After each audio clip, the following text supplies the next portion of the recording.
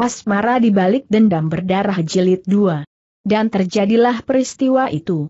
Setelah tiga bulan menjadi istri Ki Sudibyo, pada suatu senja ketika secara kebetulan Ki Sudibyo berjalan-jalan memasuki taman, dia melihat dari jauh betapa istri ini menangis terisak-isak bersandar di dada yang bidang dari Ki Margono yang merangkulnya. Dapat dibayangkan betapa marahnya Ki Sudibyo ketika melihat istrinya yang tercinta berpelukan dengan seorang muridnya.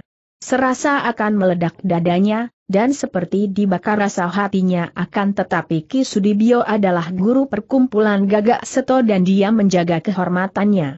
Dia menahan diri sekuat mungkin, lalu dengan terhuyung seperti menderita luka hebat dia kembali ke dalam rumahnya.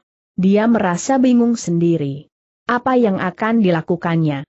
Sudah jelas bahwa Sawitri mengkhianatinya, menyeleweng. Dan tahulah dia bahwa tentu sejak dahulu Ni Sawitri menjalin cinta kasih dengan Margono dan itulah yang membuatnya menyesal dan marah sekali. Kalau saja Ni Sawitri menolak pinangannya karena sudah mempunyai seorang pilihan hati, tentu dia dapat memakluminya dan tidak akan memaksanya menjadi istrinya. Akan tetapi sekarang, Sawitri telah menjadi istrinya, kenapa masih melanjutkan hubungan dengan pria lain? Itu penyelewengan namanya, pengkhianatan dan merupakan dosa yang besar. Dan Margono, si keparat itu telah berani menghina gurunya, menginjak-injak kehormatan gurunya. Padahal, Sawitri dan Margono adalah murid-murid kesayangannya, merupakan dua orang murid yang terpandai di antara semua muridnya. Hati Ki Sudibyo terbakar hangus. Kebahagiaan yang baru dia nikmati selama tiga bulan itu kini telah hancur, bukan saja kebahagiaan itu lenyap, bahkan berubah bentuk menjadi siksaan batin yang hampir membuatnya menjadi gial. Kalau menuruti panasnya hati, ingin dia seketika itu membunuh dua orang manusia yang dianggapnya tidak mengenal budi, rendah budi dan kotor itu titik akan tetapi dia menjaga namanya, dan pula dia masih menaruh harapan tipis, harap-harap cemas barangkali ini Sawitri akan menyadari kesalahannya dan dapat mengubah jalan hidupnya. Tak lama kemudian dia melihat istrinya melangkah masuk. Demikian lemah gemulai langkahnya ketiak memasuki ambang pintu. Rambut yang hitam panjang itu yang dia tahu pasti harum semerbak dengan harum melati, kelihatan mengkilap dalam cuaca senja yang remang-remang itu. Kulitnya yang lembut dan hangat itu juga nampak berkilauan. Akan tetapi segera terbayang olehnya betapa rambut itu kusut karena bersandar di dalam rangkulan pria lain. Dia merasa seolah mukanya dicoreng-moreng, perasaannya diinjak-injak. Dadanya terasa panas sekali dan dia tidak mampu bertahan lagi. Dia Jeng Sawitri dia memanggil dan suara panggilannya itu mengejutkan hati Sawitri. Biasanya, gurunya yang kini menjadi suaminya itu kalau memanggil namanya, halus lembut dan penuh kasih sayang. Akan tetapi mengapa panggilan itu sekarang terdengar demikian? Kaku dan nyaring? Ya, Kakang Mas ya menjawab dan dan memasuki kamar itu dengan jantung berdebar. Ia melihat suaminya duduk bersila, tak bergerak seperti patung di atas lantai, di depan kedua kakinya, nampak sebatang keris telanjang. Dalam keremangan di kamar itu, keris telanjang itu nampak mengeluarkan cahaya. Inilah keris pusaka milik suaminya yang disebut Seng Megantoro. Kenapa suaminya duduk bersama dengan keris pusaka itu telanjang di depannya? Rasa takut meayap ke dalam hati ini Sawitri ketiak perlahan-lahan ia duduk bersimpuh di dekat Kisudibyo, di atas tikar yang digelar di lantai itu. Kakang Mas memanggil aku tanyanya lirih. Sampai lama tidak terdengar jawaban. Suasana semakin menegangkan sehingga Ni Sawitri seolah dapat mendengar degup jantungnya sendiri yang menembus kembennya. Kemudian terdengar suara suaminya, suara yang dingin dan kaku sekali. Dia Jeng, sudah bertahun-tahun kau menjadi murid Gak Seto selain ilmu kanuragan engkau juga mempelajari tentang nilai-nilai kegagahan katakan, dia Jeng, apa hukumannya bagi pengkhianat yang mengkhianati kepercayaan orang-orang kepadanya? Apa hukumannya bagi seorang yang menginjak-injak kehormatan kita, seorang yang membalas madu kebaikan kita dengan racun kebusukan? Jawablah, dia Jeng, Ni Sawitri merasa jantungnya berdebar tegang dan seluruh tubuhnya terasa gemetar. Kita, kita harus membunuhnya, Kakang Mas Sudibyo, bagus, engkau masih ingat akan nilai kehormatan itu. Dan sekarang, jawablah sejujurnya apakah engkau mencintai aku Sawitri terkejut sekali dan memandang ke arah wajah suaminya. Suaminya tidak memandang kepadanya, akan tetapi melihat wajah suaminya itu dari samping saja sudah cukup menimbulkan kengerian di hatinya wajah itu kaku dan dingin seperti arca besi, penuh kemarahan terpendam. Aku, tentu saja mencintaimu, Kakang Mas. Kenapa engkau tanyakan? Aku sudah menjadi istrimu, bukan? Itu saja sudah menandakan bahwa aku mencintaimu, Kakang Mas, tidak ada madu semanis kata-kata bercumbu yang keluar dari bibir seorang wanita cantik, namun sayang, di situ pula bersarang kebohongan dan pengkhianatan, kata Ki Sudibyo lirih tanpa menoleh. Kakang Mas, apa, apa, maksudmu Sawitri bertanya dengan suara gemetar. Sudahlah, pergilah ke kamarmu, diajeng. Jangan terlalu lama di sini. Pergi, cepat nih Sawitri menjadi pucat wajahnya. Belum pernah ia mendengar suara suaminya membentak-bentak seperti itu, penuh kemarahan dan kebencian. Sambil menahan tangisnya, ia pun keluar dari kamar itu. Perang hebat terjadi di hati akal pikiran Ki Sudibyo segala macam perasaan teraduk menjadi satu dalam pikirannya. Ada rasa kecewa, sedih, marah, dan cinta kalau menuruti dorongan nafsu kemarahannya karena dia merasa ditipu, dikhianati, dilanggar kehormatannya, ingin rasanya dia membunuh orang itu. Akan tetapi perasaan cintanya kepada istrinya menjadi penghalang besar. Dia terlalu mencintai istrinya dan tidak ingin membunuh istrinya, tidak ingin melihat istrinya menderita sengsara. Setelah perang itu berkecamuk dalam hatinya selama semalam suntuk menjelang pagi barulah dia mengambil keputusan yang harus dipilihnya pada saat terakhir nanti. Dua keputusan itu adalah pertama, memaafkan mereka dengan menyadari bahwa Nisawitri tidak mencintainya melainkan mencintai Margono, maka lebih tepat kalau mereka menjadi suami istri dan meninggalkan Anjas Moro. Keputusan kedua, membunuh mereka berdua sebagai pelanggar-pelanggar kesusilaan dan pengkhianat. Dia bangkit dari duduknya, menyarungkan keris pusaka Megantoro, lalu melangkah keluar dari Dal, M. Sanggar Pamujan. Karena merasa dadanya sesak, dia lalu keluar dari dalam rumah. Setibanya di halaman depan, dia merasa betapa angin sejuk menerpa wajah dan dadanya. Segar rasanya seperti disiram air dingin. Dia mengembangkan kedua lengannya sambil menghirup hawa sejuk itu sebanyaknya. Kepalanya ditengadahkan. Pagi masih remang-remang, bintang-bintang di angkasa masih tampak ayam jantan sedang berkokok dan dia mengenal suara si jagal, ayam jagonya. Tiba-tiba sesosok bayangan berkelebat.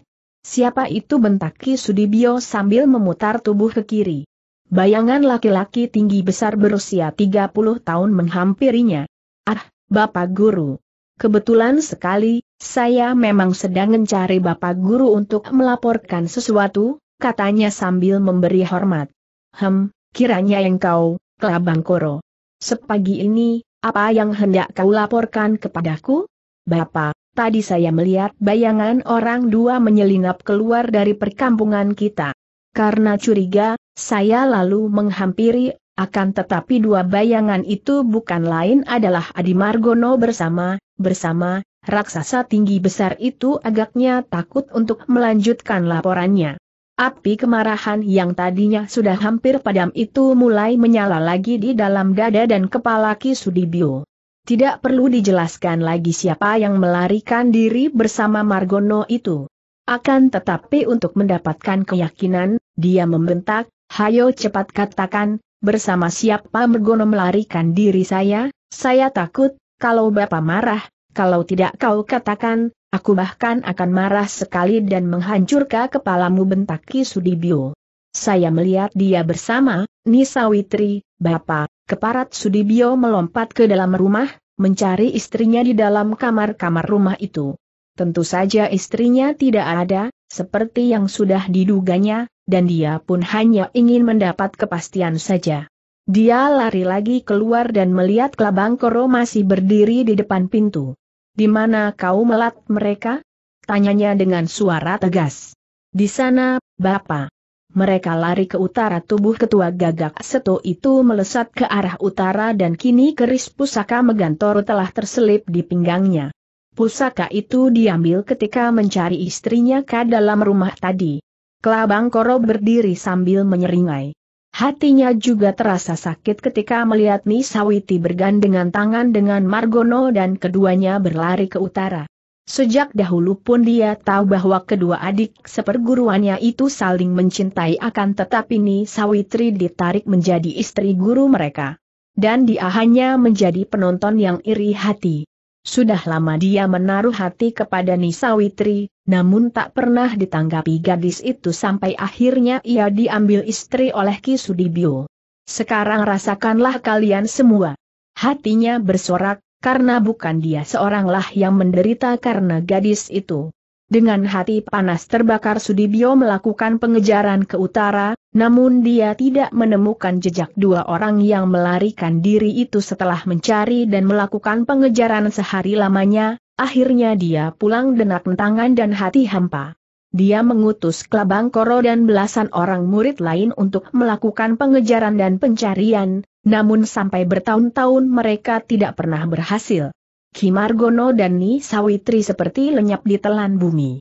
Kalau ada berita bahwa mereka berada di suatu tempat, cepat melakukan pengejaran, akan tetapi mereka sudah pergi lebih dulu. Sepasang burung itu telah terbang pergi meninggalkan pohon sewaktu para pemburunya berindap datang dengan busur dan anak panah di tangan. Bertahun-tahun pengejaran itu dilakukan dan akhirnya, pada hari itu Klabang Koro melaporkan bahwa muridnya telah berhasil membunuh Ki Margono. Bahkan Nisawitri juga telah tewas membunuh diri. Semua kenangan itu muncul dalam ingatan Ki Sudibyo seperti nonton sandiwara. Berulang kali dia menghela napas sebetulnya, dia tiada menghendaki terbunuhnya Ki Margono, apalagi sampai Nisawitri membunuh diri pula. Akan tetapi perbuatan mereka berdua itu sungguh menyakitkan hatinya, memadamkan semua gairah hidup dan kegembiraannya, melenyapkan semua kebahagiaannya. Dan kini setelah kedua orang itu tewas, tidak ada sedikit pun kepuasan terasa di hatinya. Dia tidak menjadi bahagia karenanya, bahkan sebaliknya, dia menjadi semakin bersedih. Kalau dia teringat akan saat-saat mesra penuh kasih sayang bersama istrinya, walaupun hanya sekitar 3-4 bulan yaitu sejak mereka menikah, hatinya seperti ditusuk-tusuk rasanya, dia amat mencintai Ni Sawitri dan menurut perasaannya, Ni Sawitri juga amat mencintainya. Mengapa lalu timbul persoalan dengan Ki Margono itu? Dia merasa menyesal sekali harus membunuh mereka. Penyesalan yang ditebusnya dengan kesehatannya yang makin memburuk. Hanya demi kepentingan perkumpulan gagak seto, Ki Sudibyo masih mau hidup dan berusaha mengatasi gangguan kesehatannya untuk memimpin perkumpulan itu. Akan tetapi, semua urusan keluar dia serahkan kepada UA orang murid kepercayaannya, yaitu Klabang Koro dan Mayang Murko. Kalau saja dia mempunyai pandangan siapa yang pantas menggantikan kedudukannya sebagai ketua gagak seto, tentu hatinya akan terasa tenang. Akan tetapi dia belum melihat adanya pengganti itu.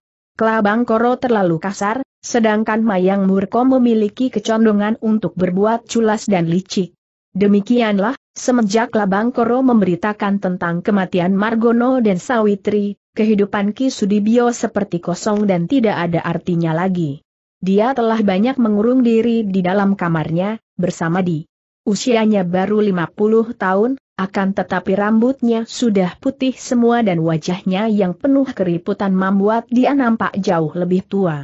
Urusan gagak seto dia serahkan kepada Klabang Koro dan Mayang Murko. Sudibyo sama sekali tidak tahu bahwa setelah kini dia tidak lagi langsung memegang kemudi perkumpulannya, perkumpulan gagak seto mulai meninggalkan garis-garis yang telah ditentukan tadinya, Perkumpulan gagak seto adalah perkumpulan orang gagah yang disegani perkumpulan orang gagah lainnya, dan ditakuti gerombolan-gerombolan yang menyusahkan rakyat akan tetapi kini, tidak jarang anak buah gagak seto bahkan melakukan perbuatan jahat dan sewenang-wenang, mengambil milik orang yang kebetulan lewat dengan paksa, bahkan menculik wanita-wanita cantik. Bukan para anak buahnya saja yang melakukan perbuatan maksiat, bahkan dua orang pemimpin mereka, Kelabang Koro dan Mayang Murko, menerima ketika ada pendekatan dilakukan para pimpinan perkumpulan Jambuka Sakti, Serigala Sakti, sebuah perkumpulan lama dan besar dari segerombolan penjahat yang terkenal buas dan kejam. Dan semua peristiwa yang terjadi di luar kamarnya ini sama sekali tidak diketahui oleh Ki Sudibyo yang hanya membiarkan dirinya tenggelam ke dalam duka nestapa tidak jauh dari perkampungan Gagak Seto, kurang lebih 10 kilometer jauhnya, terdapat sebuah air terjun yang airnya jernih sekali dan air terjun itu membentuk sebuah telaga kecil sebelum air mengalir menjadi anak sungai dan menuruni dusun di kaki bukit. Air terjun ini oleh rakyat setempat dinamakan Grojokan Kluung, air terjun pelangi, karena di situ sering muncul pelangi ketika uap air yang terjun ditembusi sinar matahari.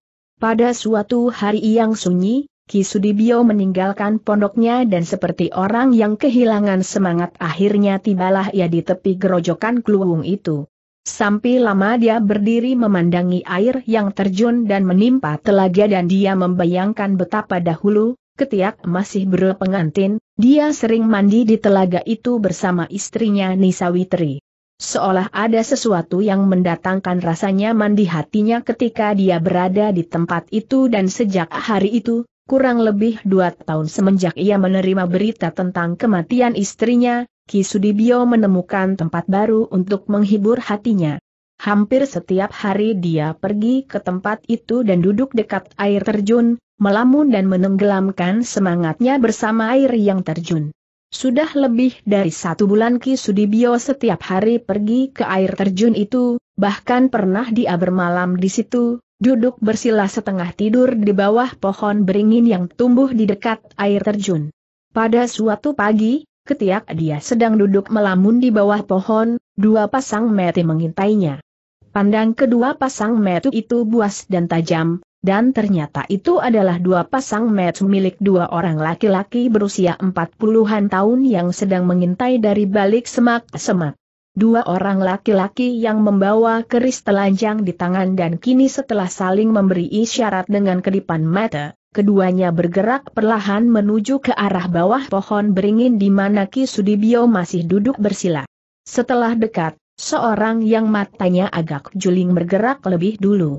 Dengan tangan kanan memegang keris, dia melompat keluar dari balik semak-semak dan lari menghampiri Ki Sudibyo yang masih bersila dan seolah tidak tahu bahwa dirinya diserang orang akan tetapi tentu saja ketua gagak seto itu sudah tahu dari tadi.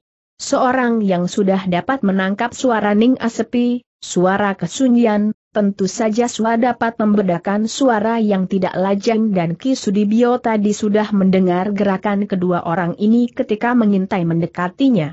Ketika si Matu Jeling menubruk dan menyerangnya dari belakang, menjunjamkan keris ke arah punggungnya Ki Sudibyo merendahkan tubuh dengan membungkuk sehingga serangan tusukan keris itu pun luput.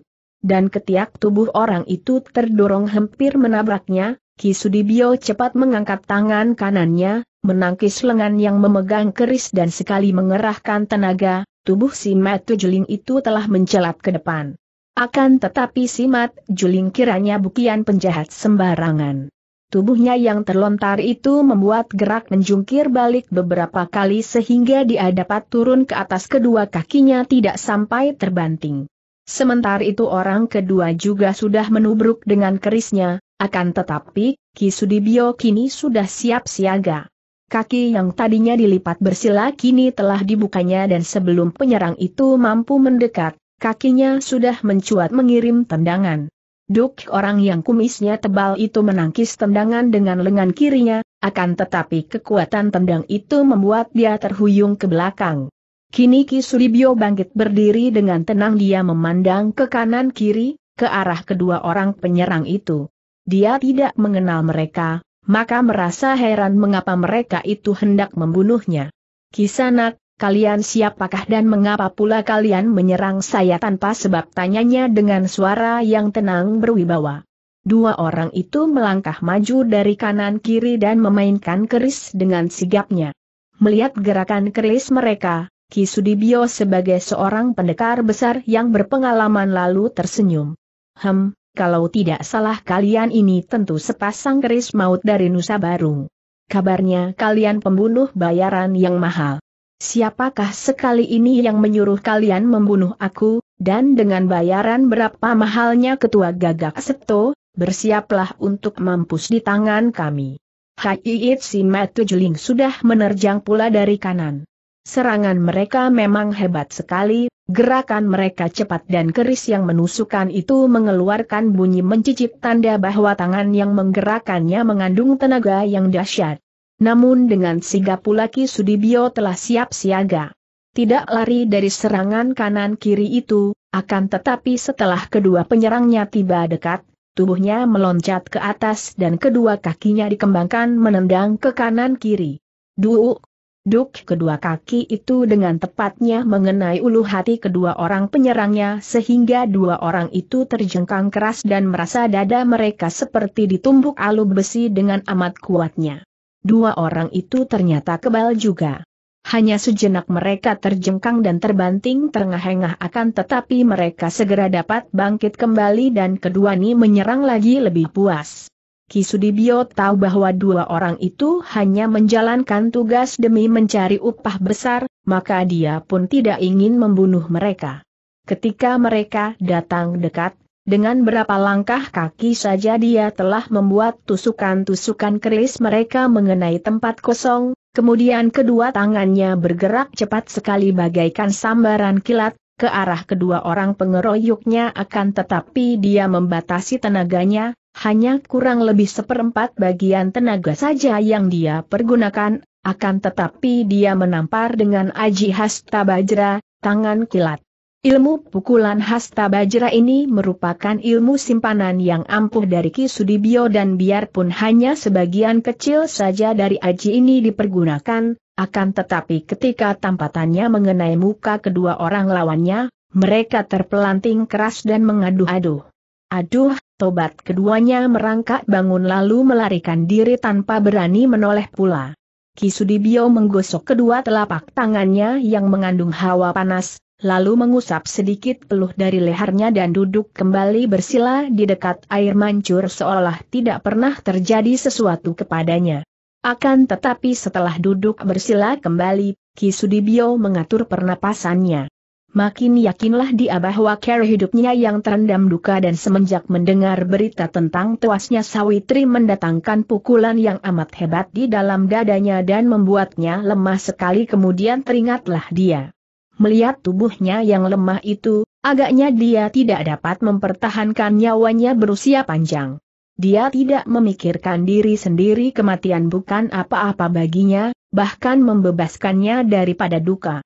Akan tetapi yang dipikirkan adalah perkumpulan Gagaksto. Siapa yang akan menggantikannya dia tidak mempunyai keturunan dan juga tidak ada seorang pun muridnya, pria maupun wanita, yang pantas untuk dijadikan penggantinya. Kalau Gagak Seto kelak dipimpin oleh seorang yang tidak luhur budinya, tentu akan berbahaya sekali dan dapat dibawa menyeloweng. Tiba-tiba, ada gerakan di seberang danau kecil itu menarik perhatiannya. Tadinya disangka seekor binatang yang bergerak di sana. Akan tetapi ketika dia mengamati, ternyata bukan binatang, melainkan seorang anak perempuan. Anak perempuan itu berpakaian compang-camping. Tubuhnya hanya tertutup sehelai kain berkemben yang sudah robek-robek, rambutnya yang panjang terurai lepas dan di bagian pundaknya kelihatan berlepotan darah usia anak itu sekitar 10 tahun jantung Ki Sudibyo berdebar tegang. Anak itu berada di tebing, di atas danau yang berada di depannya itu. Tidak kurang dari 15 meter tingginya dan tebing-tebing itu penuh dengan batu-batu yang tajam. Anak itu kini merangkak-rangkak, sikapnya ketakutan seperti hendak melarikan diri dari suatu yang ditakutinya. Hei, hati-hati, engkau bisa jatuh teriaki Sudibyo. Akan tetapi peringatan itu terlambat sudah. Terdengar anak itu menjerit dan tubuhnya tergelincir jatuh ke bawah. Biu air telaga munkrat ke atas dan tubuh anak perempuan itu tertelan lenyap. Celaka tanda seru Ki Sudibyo sudah cepat bangkit dan meloncat ke telaga, lalu berenang secepatnya ke arah jatuhnya anak tadi. Di situ dia menyelam dan tak lama kemudian dia sudah muncul kembali sambil mengangkat tubuh anak perempuan itu dengan sebelah tangannya, sedangkan sedangkan dengan kakinya dan sebelah tangannya dia cepat berenang. Ke tepi danau. Anak itu tidak terluka parah, keadaannya tidak berbahaya, hanya pingsan. Setelah dirawat sebentar, anak itu siuman lalu menangis ketakutan. Diamlah, Nini, jangan menangis. Jangan takut, aku bukan orang jahat. Aku yang telah menolongmu dari dalam telaga tadi. Tenaglah, anak itu memang tadinya menangis karena takut.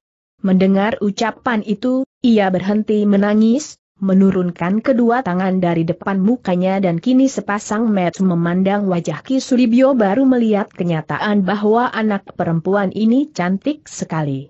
Kulitnya halus kuning, rambutnya panjang hitam subuh, matanya bersinar-sinar seperti sepasang bintang kejora. Hidungnya kecil mancung, bibirnya mungil dan manis sekali, seperti wajah putri bangsawan. Benarkah, Paman? Engkau, engkau bukan seperti mereka yang jahat. Mereka yang membunuh ayahku. Gadis cilik itu agaknya baru teringat akan ayah ibunya. Ia lalu menangis memanggil-manggil nama ayah ibunya. Tenangkan hatimu, Nini.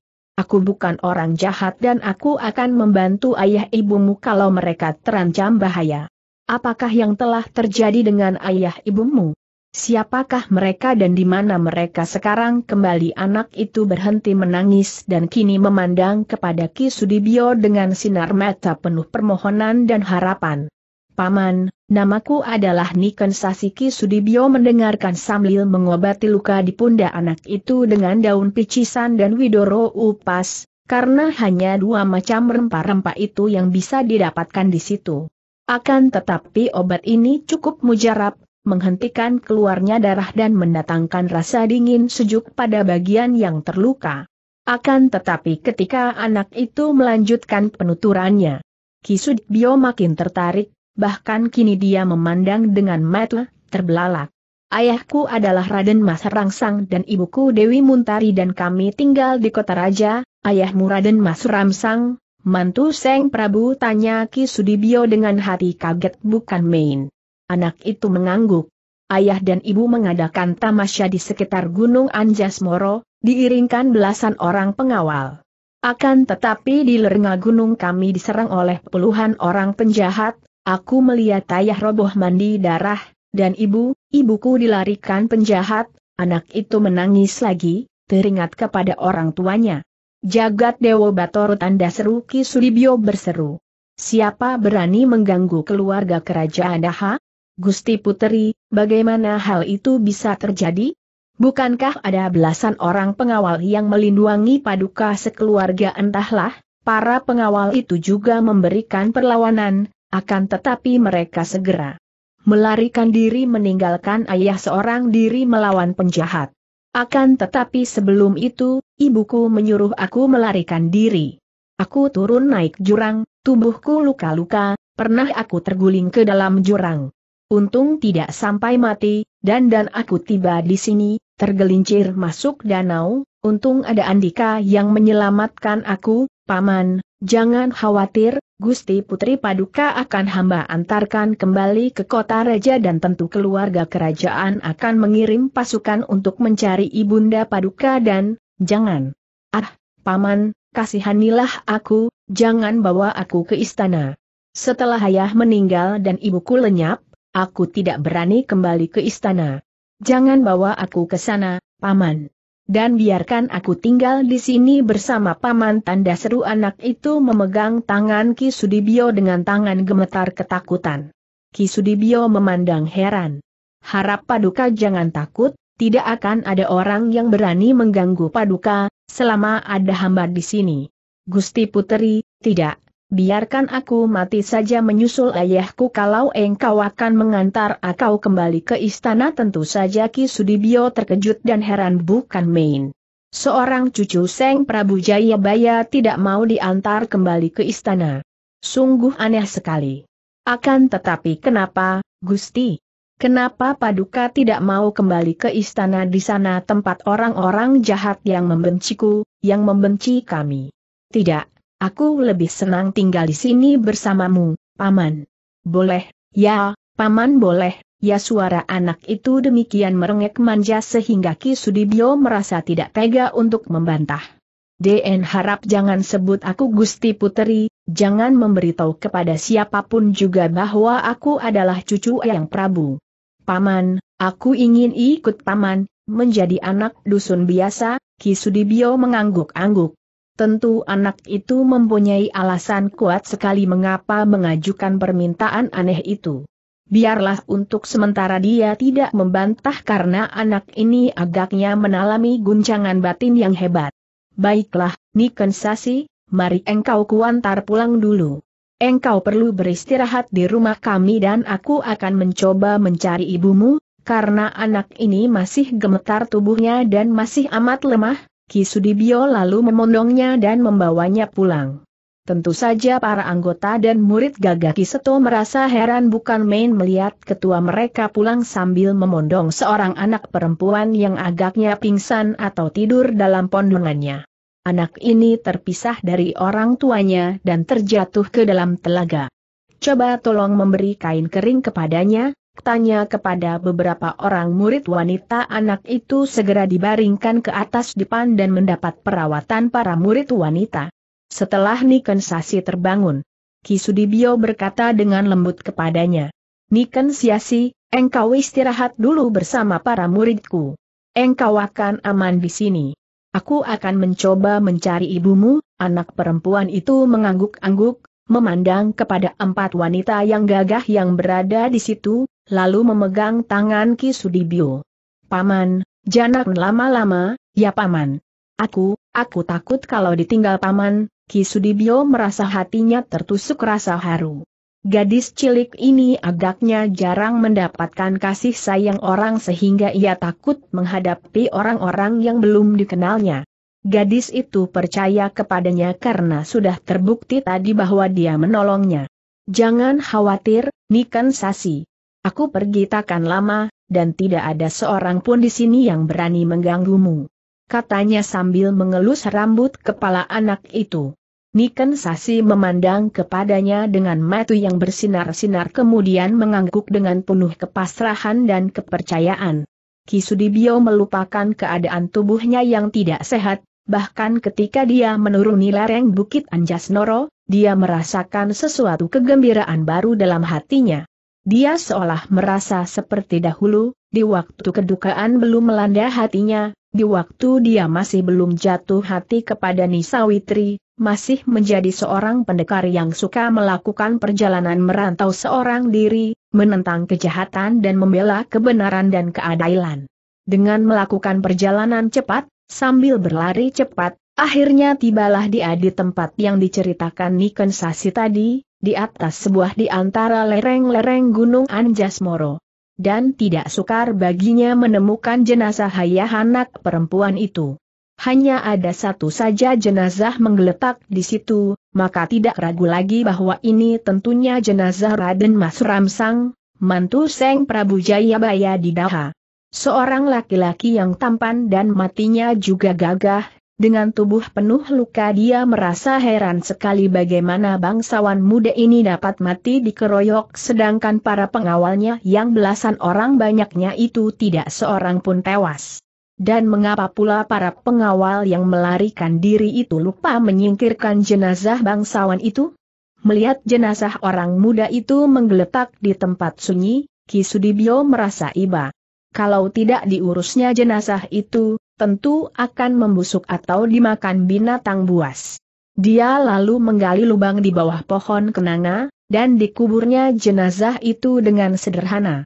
Kemudian, dia meletakkan sebuah batu sebesar gentong di atas kuburan sebagai tanda kalau-kalau kelak Putri Raden Mas Rangsang itu akan mencari kuburan ayahnya. Setelah selesai mengubur jenazah Raden Mas Rangsang dan hendak meninggalkan tempat itu, tiba-tiba pendengarannya yang tajam menangkap gerakan orang. Ki Sudibyo berdiri tegak dengan kaki terpentang.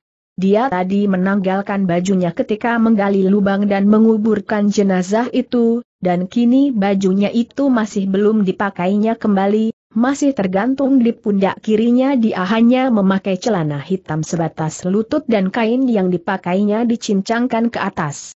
Rambut yang panjang dan bercampur putih itu diikatnya dengan kain hitam pula dan selebihnya, badannya tidak mengenakan pakaian lain.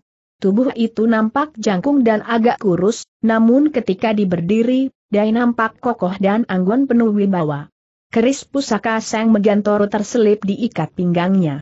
Tubuhnya yang berdiri tegak itu sama sekali tidak bergerak, hanya kedua matanya saja yang bergerak perlahan, melirik ke kanan kiri penuh kewaspadaan. Dia bagaikan Seng Bima Sena sedang menghadapi bahaya, begitu tenang, santai penuh kepercayaan kepada diri sendiri. Tak lama kemudian nampak bermunculan belasan orang yang rata-rata bertubuh tinggi besar dan mereka memegang sebatang golok telanjang yang berkilauan saking tajamnya. Bentuk golok ini semua sama, melengkung dan gagangnya terukir kepala anjing serigala, dengan ronce merah sebagai lidah kepala serigala itu. Dengan sikap beringas dan penuh ancaman, 13. Orang itu sudah mengepung dan mengitari Ki Sudibyo. Keparat terdengar Ki Sudibyo berkata dengan suaranya yang dalam parau dan berpengaruh. Gerombolan anjing dari mana berani mengacau daerah Hanjas Moro yang dikuasai gagak seto 13 orang itu, seperti menanti sebuah komando, tertawa bergelak mendengar ucapan Ki Sudibyo itu. Dan berkat dengan suara garang, bagus Ki Sudibyo. Engkau hendak menggertak kami dengan dengan nama gagak seto yang sebentar lagi akan kami hancurkan? Kami memang membiarkan engkau memburkan jenazah itu, setelah itu engkau sendiri yang akan menggantikan jenazah itu, menggeletak di sini menanti datangnya binatang buas yang akan memangsamu, hahaha wajah Ki Sudibyo menjadi merah karena marahnya. Bukankah kalian ini anak buah kelompok Jembuka Sakti, Serigala Sakti, dari lereng Bromo? Setahuku ketua kalian, Broto Keling, tidak pernah memusuhi Gagak Sto. Apa yang kalian kehendaki kami menghendaki nyawamu bentak 13 orang itu dan mereka sudah menerjang maju dari segala jurusan, menyerang dengan golok mereka. Ki Sudibyo merasa heran, akan tetapi juga marah sekali. Baru saja, dia juga diserang oleh dua orang yang dikenalnya sebagai sepasang keris maut dari Nusa Barung, diserang tanpa sebab oleh dua orang tokoh yang dikenalnya sebagai pembunuh-pembunuh bayaran itu. Jelasa ada orang yang menghendaki kematiannya dan kenyawa dua orang itu. Untung dia dapat menandingi mereka dan membuat mereka melarikan diri. Dan sekarang tahu-tahu gerombolan. Jambuka sakti dari lereng Bromo mengepung dan menyerangnya. Padahal, walaupun mungkin ketua mereka, Beroto Keling yang terkenal jagoan, menganggap dia sebagai saingan. Dia tidak pernah bergaul dengan kelompok seperti Jambuka Sakti itu, karena dia tahu bahwa perkumpulan itu adalah perkumpulan para penjahat yang tidak segan melakukan segala macam kejahatan. Akan tetapi, biarpun jalan mereka bersimpang, Ki Sudibyo merasa belum pernah bentrok dengan mereka. Melihat gerakan 13 orang itu ketika memainkan golok, diam-diam Ki Sudibyo terkejut. Ternyata bukan anak buah rendahan yang datang menyerangnya, tentu merupakan murid-murid pilihan karena gerakan golok mereka cukup tangkas, cepat dan bertenaga sehingga terdengar suara berdesing berbisik ketika mereka semua menggerakkan golok. Tiga batang golok menyerang dari arah belakang. Ki Sudibyo menggerakkan tangan kirinya yang memegang baju hitamnya sambil memutar tubuh. Baju itu terkembang dan dan menangkis tiga batang golok. Para penyerang itu terkejut bukan main karena tangkisan baju itu membuat golok mereka terpental dan kalau mereka tidak cepat melompat ke belakang, tentu mereka akan kena hantaman baju yang ketika digerakkan oleh Ki Sudibyo berubah menjadi senjata yang amat kuat. Belasan orang itu menjadi marah dan menyerang serentak. Ki Sudibyo maklum bahwa dirinya berada dalam bahaya, maka sambil memutar baju hitamnya dengan tangan kiri, dia pun mencabut keris pusakanya. Ketika dia menggerakkan keris, nampak seperti ada awan atau uap putih menyambar dan terdengar pekik seorang pengeroyok yang roboh dengan tangan berdarah. Kiranya goloknya tadi patah dan terlempar ketika bertemu dengan keris dan tangannya pun terluka. Ki Sudibyo terus mengamuk dengan keris. Sepak terjangnya mengerikan sekali. Dia seperti Bima Sena mengamuk dengan pancanakanya. Setiap kali ada kilatan keris Megantoro menyambar, tentu ada seorang pengeroyok yang roboh. Dalam waktu tak lama, sudah ada enam orang pengeroyok yang roboh, baik oleh kerisnya, maupun hantaman baju hitamnya. Para pengeroyok itu agaknya maklum bahwa mereka tidak akan menang, maka sambil menyeret tubuh kawan-kawan yang terluka mereka pun melarikan diri dari situ. Ki Sudibyo masih berdiri tegak membiarkan mereka pergi melarikan diri tubuhnya mengkilap oleh keringat dan biarpun nampaknya dia tenang saja akan tetapi dari dadanya yang kembang kempis, perutannya yang naik turun dapat diketahui bahwa pendekar perkasa ini terengah-engah melalui hidungnya. Dia memejamkan kedua matanya dan setelah pernapasannya biasa kembali, barulah dia mengebut-ngebutkan bajunya dan mengenakan baju itu setelah menempelkan keris pada dahi dan dadanya lalu menyarungkannya. Dia menahan rasa nyeri pada dadanya. Aku harus menjauhkan diri dari perkelahian, pikirnya. Kalau dia bertemu dan bertanding dengan lawan tangguh, dia bisa celaka. Padahal dalam keadaan biasa belasan orang tadi sama sekali tidak ada arti baginya. Tubuhnya lemah sekali. Setiap kali mengerahkan tenaga sakti, tentu dadanya terasa nyeri dan pernapasannya memburu dan tertekan. Akan tetapi Ki Sudibyo masih mempertahankan diri dan dia melanjutkan usahanya mencari Dewi Muntari, ibu Nikensas yang menurut anak perempuan itu katanya ditangkap dan dialrikan diri penjahat. Akan tetapi sampai hari menjadi sore, dia tidak berhasil menemukan jejak wanita itu. Apakah Dewi Muntari ditangkap oleh gerombolan Jambul Sakti? Aku akan mengiring utusan dan minta dengan hormat kepada Ki Broto Keling agar membebaskannya, kalau benar wanita itu ditawannya. Tentu Broto Keling masih mau memandang kepadanya untuk memenuhi permintaannya. Kalau permintaannya ditolak, hem, bagaimana nanti sajalah. Akhirnya dia kembali ke Anjas Moro. Kalau menuruti kata hatinya, andaikat dia seperti dahulu yang berwatak penuh semangat dan tubuhnya tidak selemah ini, dia tentu langsung saja pergi mengunjungi Broto Keling di Lereng Bromo. Setibanya di Anjas Moro, dia disambut oleh Niken Sasi yang berlari keluar menyambutnya. Diam-diam Ki Sudibyo kagum sekali.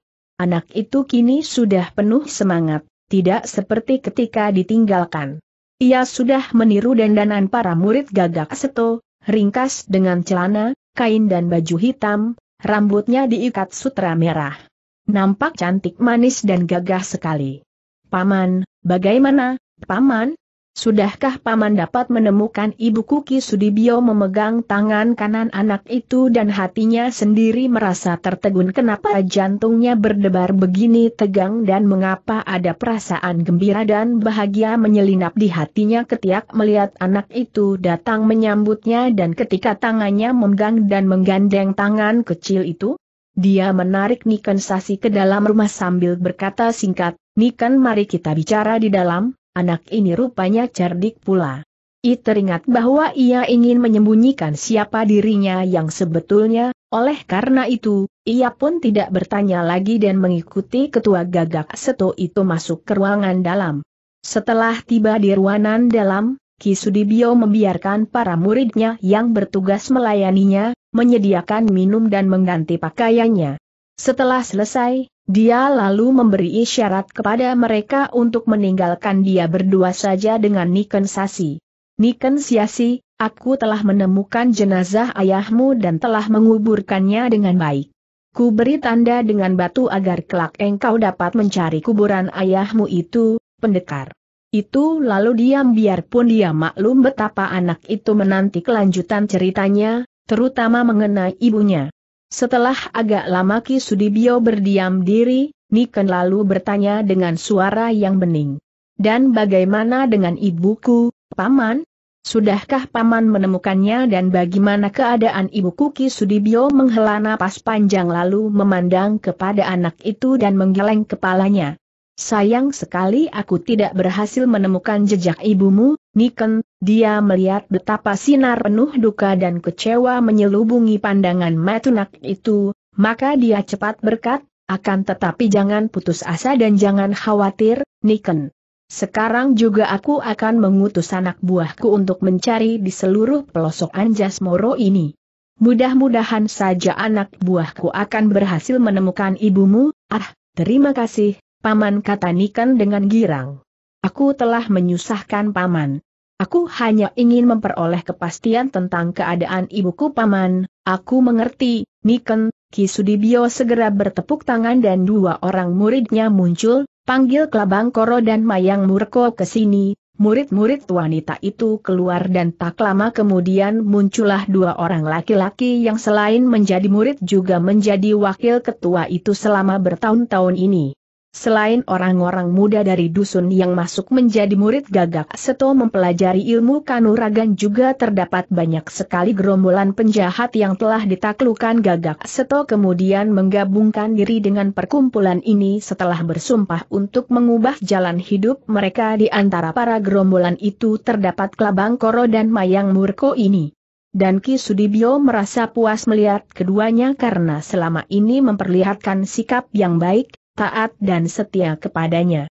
Karena itu, mengingat bahwa di antara para muridnya, kedua orang ini yang paling tangguh ilmunya, dia mengangkat keduanya menjadi wakilnya.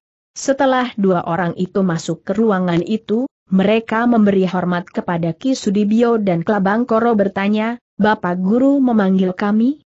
Ada petunjuk apakah, Bapak Guru Klabang Koro dan Mayang Murko? Engkau bawalah anak buah secukupnya dan carilah seorang wanita, ibu anak ini yang kabarnya ditangkap penjahat. Karilah ia sampai ketemu atau setidaknya sampai mendengar di mana ia berada dan bagaimana keadaan. Juga, perlu kalian ke lereng Bromo, menemui Ki Broto Keling, Ki Broto Keling Ketua Jambuka Sakti, Bapak Guru Klabang Koro bertanya dan matanya yang lebar itu terbelalak. Benar kalian pergilah menghadap Broto Keling dan berikan suratku kepadanya, minta balasan, baik, Bapak Guru. Kapan kami berdua berangkat sekarang juga? Bawa perbekalan secukupnya. Dua orang pembantu itu memberi hormat dan keluar dari rumah itu untuk melaksanakan tugas mereka. Setelah kedua orang itu pergi Ki Sudibyo menoleh kepada Niken Sasi sambil tersenyum. Nah, engkau mendengar sendiri. Niken titik aku sudah menyuruh anak buahku untuk mencari ibumu, Niken Sasi tiba-tiba berlutut dan menyembah kepada pendekar itu. Kisudibyo terkejut sekali dan cepat-cepat dia mengangkat anak itu bangun. Anak perempuan itu adalah seorang putri cucu Seng Prabu Jayabaya, bagaimana boleh menyembahnya? Ah, Niken! Apa yang kau lakukan ini? Engkau tidak boleh memberi hormat seperti itu kepadaku. Ingat, engkau seorang putri paman. Harap jangan sebut itu lagi. Paman sudah berjanji akan merahasiakan asal-usul dariku, kata anak itu memperingatkan. Biarlah aku menjadi muridmu, paman. Perkenankan aku menyebut paman sebagai bapak guru, seperti para kakak yang berada di sini. Aku ingin mempelajari ilmu kanuragan agar kelak kemudian hari aku dapat membalas dendam Ki Sudibyo menyambung. Tidak, Bapak. Membalas kepat siapa? Aku akan mempergunakan kepandaianku untuk menentang para penjahat, membela kaum lemah tertindas, mempertahankan kebenaran dan keadilan Sudibyo tersenyum. Dia memang sudah merasa suka sekali kepada anak perempuan ini. Merasa iba dan juga kagum dan dua perasaan ini berkembang menjadi rasa kasih sayang. Kemudian dia teringat. Sudah lama dia merindukan seorang murid yang baik, seorang murid yang dapat dia wariskan seluruh ilmunya, seorang murid yang kelak akan menggantikan dia memimpin Gagak Seto, yang akan mengangkat tinggi namanya dan nama Gagak Seto. Mengapa tidak? Agaknya Niken Sasi memiliki bakat yang baik dan anak ini memiliki ketabahan, keberanian dan semangat. Hal ini tidak mengherankan karena di dalam tubuhnya masih mengalir darah bangsawan tinggi, Tarahingku Sumo Rembesing Madu. Keturunan Seng Prabu Jayabaya, seorang raja yang sakti mandraguna dan arif bijaksana. Tentu saja keturunannya, biarpun wanita, bukan orang biasa. Baiklah, Nini. Baiklah, dengan bangga dan girang sekali aku menerima permintaanmu dan mulai saat ini, engkau menjadi muridku. Engkau rajinlah belajar dan bersiaplah, Niken, karena aku, gurumu akan mengajarkan semua ilmu yang kukuasai kepadamu, yang tak pernah kuajarkan kepada murid lain. Akan tetapi, ada satu hal yang ingin sekali ku ketahui. Mengapa engkau tidak ingin kembali ke istana, di mana terdapat keluarga istana, keluargamu. Padahal, semestinya, aku membawamu ke istana dan di sana engkau akan diteriam dengan baik, bahkan Gusti Prabu tentu akan berusaha mencari ibumu. Nah ceritakanlah kenapa engkau hendak menyembunyikan dirimu dan tidak ingin kembali ke istana anak itu mengerutkan alisnya, menghela napas beberapa kali kemudian berkata, Sebetulnya tidak baik aku menceritakan semua ini kepadamu, Paman. Akan tetapi kalau tidak aku ceritakan tentu Paman bertanya-tanya. Baiklah, terus terang saja aku benci hidup di dalam istana, Paman eh, kenapa?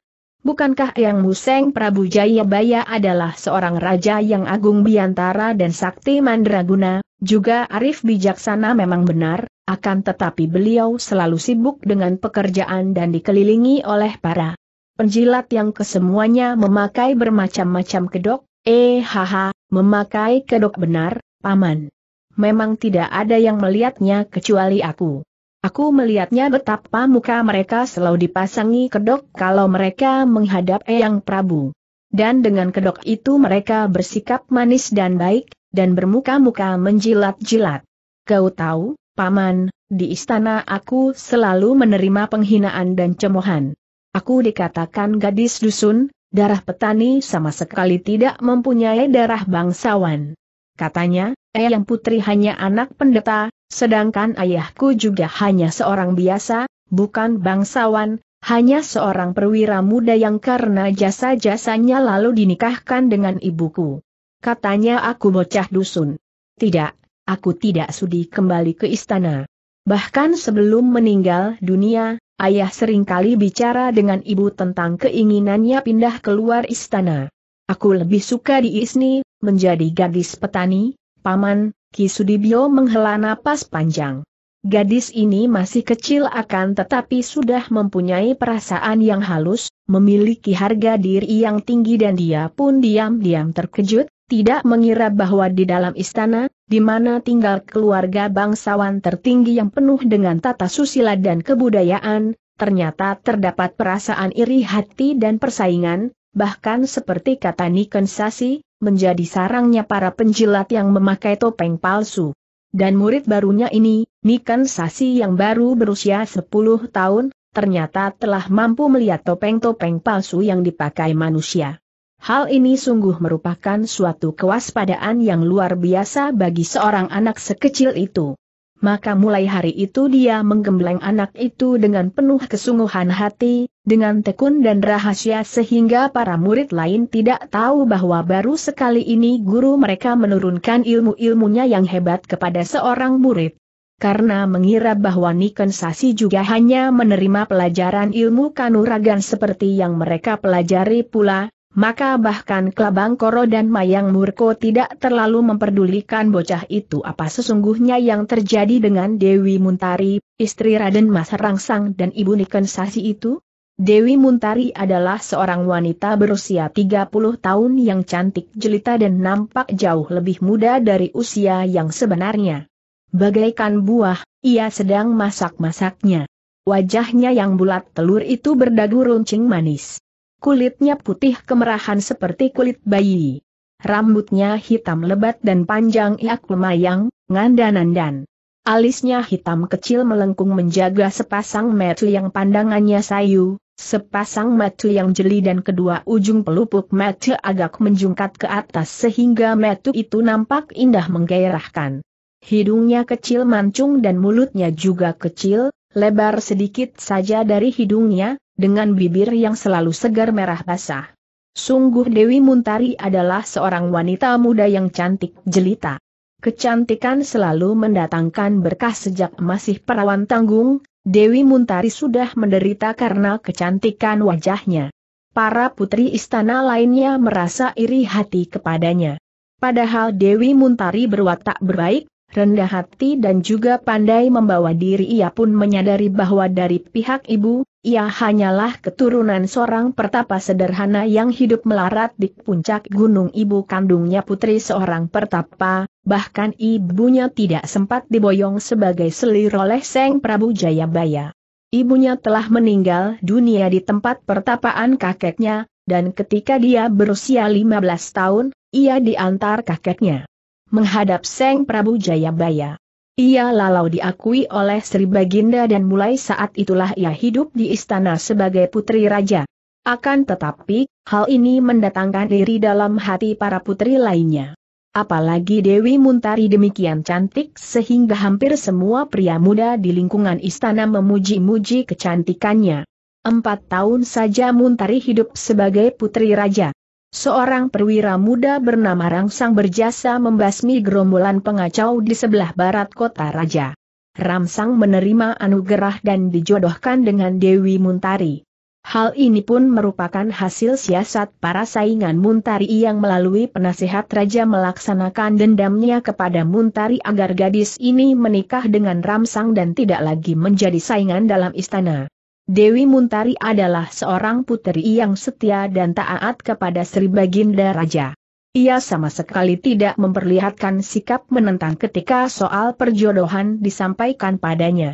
Ia percaya sepenuhnya kepada ayahnya dan ia yakin tentu selalu ayahnya menghendaki hal yang terbaik baginya.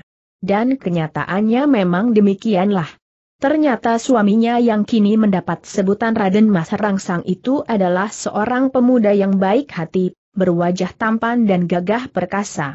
Pendeknya seorang satria sejati. Dengan mudah Muntari dapat jatuh cinta kepada suaminya dan mereka hidup berbahagia.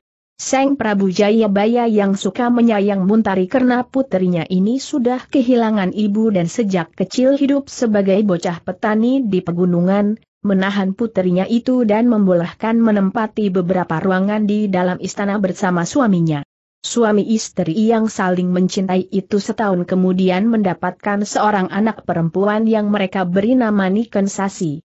Penderitaan yang dirasakan Dewi Muntari karena kecantikannya, ternyata dirasakan pula oleh Niken Sasi yang sejak kecil sudah dapat merasakan hal ini. Anak yang mungil ini disayang oleh kakeknya, dan banyak pula yang menyayangnya, dan hal ini mendatangkan rasa iri dan dengki kepada mereka yang membenci Dewi Muntari. Inilah sebabnya Niken Sasi merasa tidak kerasan tinggal di dalam istana. Ia sering kali mendapat makian dan ejekan yang menghina dari para putri lain. Dewi Muntari memang merencanakan untuk pindah dan meninggalkan istana, akan tetapi rencana ini tidak pernah dapat terlaksana karena Seng Prabu Jayabaya menyayang keluarga ini dan menahannya. Suami istri ini tentu saja tidak berani berterus terang kepada Seng Prabu Jayabaya tentang permusuhan yang mereka hadapi, karena pelaporan seperti ini akan mendatangkan kesan buruk kepada mereka sendiri. Demikianlah, untuk menghibur hati mereka ketika Niken Sasi sudah berusia 10 tahun, Raden Mas Rangsang mohon izin kepada Seng Prabu Jayabaya untuk berpesiar bersama anak istrinya. Dia diizinkan dan disuruh membawa pasukan pengawal. Akan tetapi, agar tidak menimbulkan iri kepada pangeran lainnya yang juga memandang rendah kepadanya, Raden Mas Ramsang hanya membawa 12 orang prajurit pengawal. Ketika pada pagi hari itu mereka tiba di penggunungan Anjasmoro, mereka menikmati keindahan gunung itu. Tiba-tiba bermunculan puluhan orang. Tidak kurang dari 50 orang mengepung mereka dan tanpa banyak cakap lagi mereka menyerang Raden Mas Ramsang. Tentu saja Panglima muda ini mengamuk untuk mempertahankan diri dan membela anak istrinya. Juga selosin orang pengawalnya nampak menyambut serangan puluhan orang itu. Mungkin karena terdesak oleh jumlah lawan yang jauh lebih banyak, 12 prajurit dah ini pun mundur dan akhirnya melarikan diri. Tinggal Raden Mas Rangsang yang masih mengamuk dengan kerisnya. Hebat memang sepak terjang panglima muda ini. Bagaikan seekor singa yang membela anak istrinya dia berloncatan dan berkelebatan dengan cepat dan tangkas. Tidak kurang dari sepuluh orang sudah roboh terkena tikaman kerisnya, hantaman tangan kirinya atau tendangan kakinya. Akan tetapi, betapapun kuatnya, dia hanya seorang diri. Bagaimana mungkin dapat melawan puluhan orang lawan yang kesemuanya jelas merupakan orang yang sudah biasa berkelahi? Raden Mas Ramsang yang telah mendapat beberapa luka di tubuhnya, meneriaki istrinya agar membawa lari Niken Sasi. Dajeng, larilah. Bawa anak kita berlari dia berteriak, akan tetapi terpelanting ketika sebatang golok menyerempet pundak kirinya. Kakang Mas Dewi Muntari menjerit melihat suaminya roboh. Ia mendorong punggung putrinya. Niken larilah cepat didorong sampai terhuyung oleh ibunya dan mendengar ibunya berteriak agar ia melarikan diri, Niken Sasi yang biasanya taat kepada ibunya itu, kini menanatinya dan larinya anak ini pun menantinya, dan larilah anak ini tunggang langgang. Sang ibu, bagaikan seekor singa betina, menerjang ke depan dengan sebatang keris kecil. Dengan kerisnya itu ia berhasil merobohkan dua orang pengeroyok. Akan tetapi tusukan kerisnya yang kedua itu terselip di antara tualang iga lawan dan sukar dicabutnya kembali, dan pada saat itu, sebuah tangan yang besar menangkap pergelangan tangannya, memutar pergelangan tangan itu sehingga ia terpaksa melepaskan kerisnya. Pada saat itu, tubuhnya sudah ditelikung dan dipondong seorang pria tinggi besar yang tertawa bergelak sambil memerintahkan anak buahnya untuk membunuh Raden Mas Ramsang. Biarpun luka-luka di tubuhnya sudah membuat dia mandi darah tenaganya hampir habis, akan tetapi melihat istrinya dipondong seorang penjahat, Raden Mas Ramsang mengeluarkan gerengan seperti seekor harimau dan dia pun melompat maju untuk menyerang si tinggi besar yang memondong istrinya. Akan tetapi dia disambut oleh lima orang yang menggerakkan golok mereka. Kerisnya dapat merobohkan seorang lawan, akan tetapi dia sendiri roboh dengan dada dan leher robek-robek.